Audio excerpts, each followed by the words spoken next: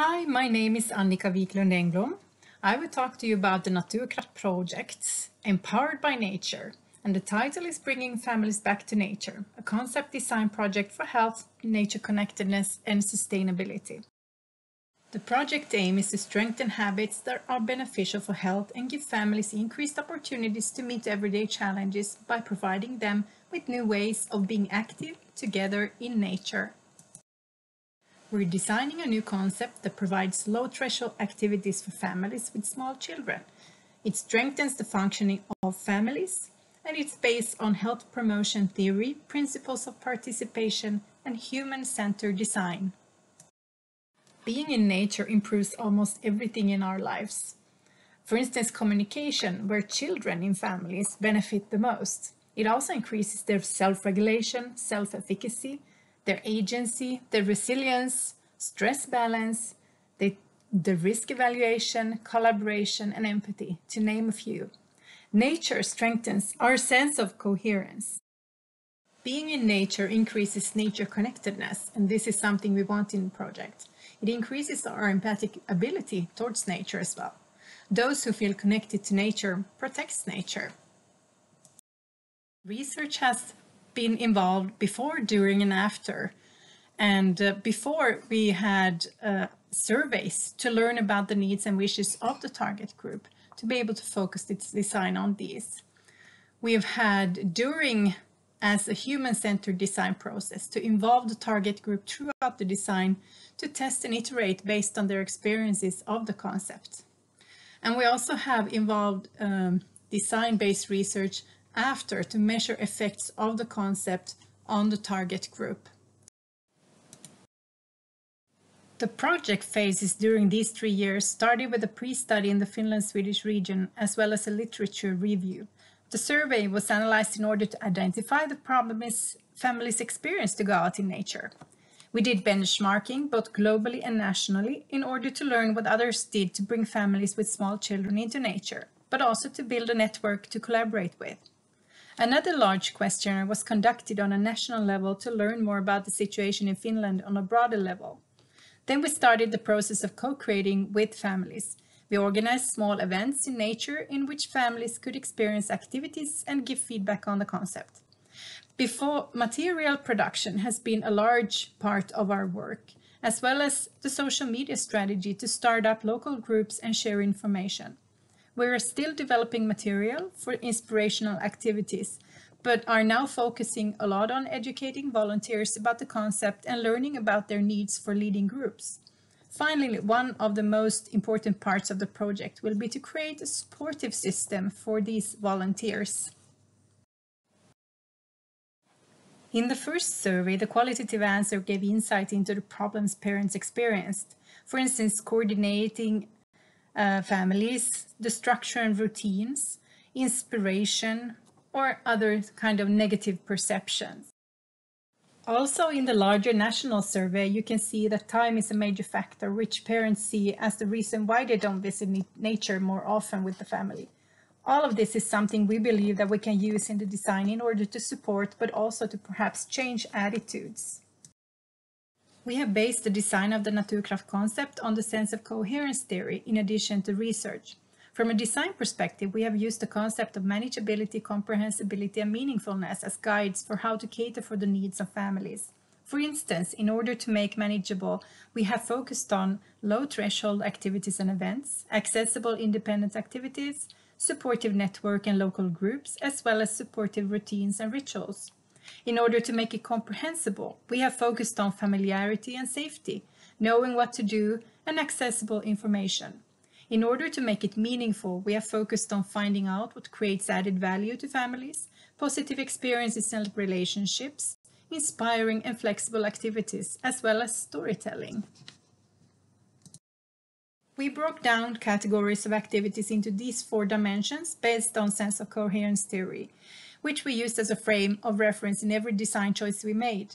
The categories of activities of the Naturkraft concept for group events are welcoming activities, activities for activating and for creating presence and connection, a picnic, and finally a reflective activity to conclude and discuss and plan ahead.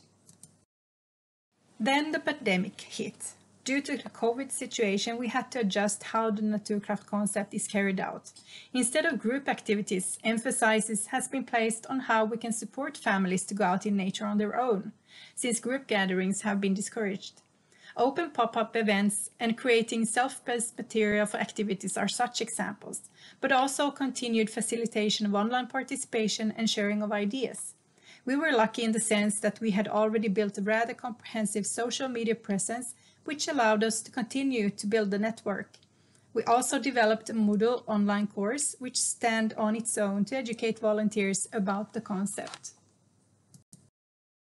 Our social media channels are used with a specific agenda to increase their added value. For instance, our Facebook page is used as a channel for marketing materials and local events, as well as for having close local groups in which parents can find each other and share, plan and gather.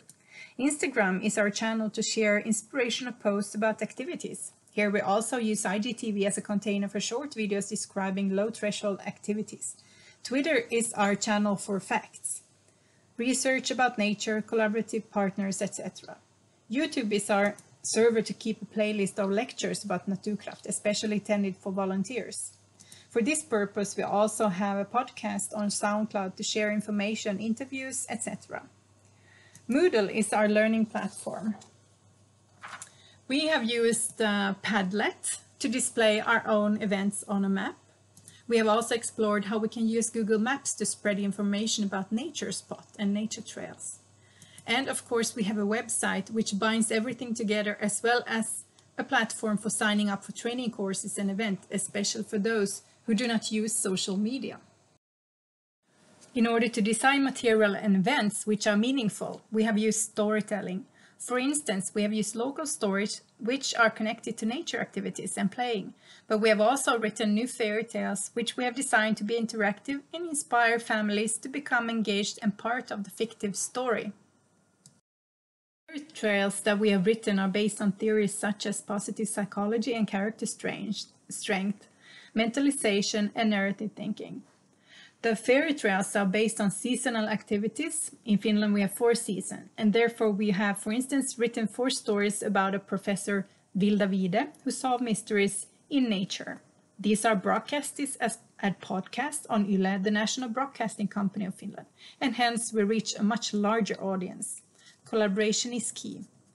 We have also created flyers which are distributed through our website and Facebook group for volunteers. The flyers include a shortened text of the story, instructions for activities, as well as a QR code to access each chapter of the story. The fairy trails all have 10 chapters with a flyer for each. The one you see here on the slide is about a bunny who goes into the forest to prove that she is big enough to explore on her own and prove to her family that she is no longer just a tiny bunny baby. The aim of the fairy trail is to strengthen the family and the individual through creative play and dialogue, to experience nature in multiple ways for increased nature connection. It is also about the right of public access, which is unique to Finland and the other Nordic countries. This includes learning about our own responsibilities for nature through the actions of fairy tale characters.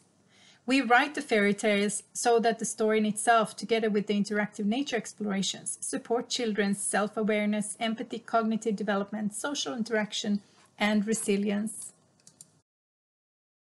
Here is another example of Naturkraft material, which is designed as flyers to create imaginary activity rooms in nature, based on different themes, such as the playground, the gym, the art studio, the laboratory, the living room, and the dining room. Because of the pandemic, we have faced some problems to collect data about the effects of Naturkraft concept with regard to group activities.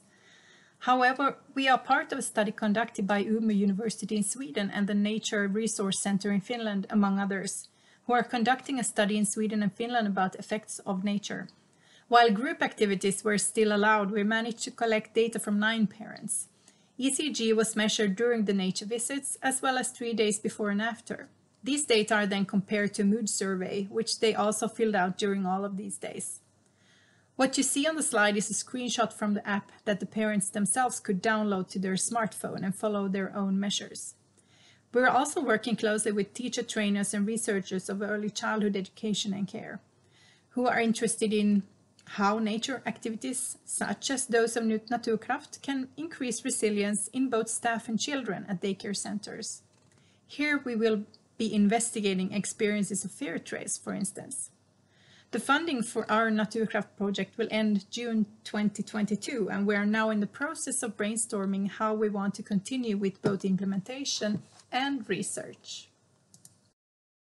For more information, please feel free to contact me at any time on my email address or you can go into at Naturfolkhälsan, Folkhälsan, and just uh, be part of our network. You are so welcome.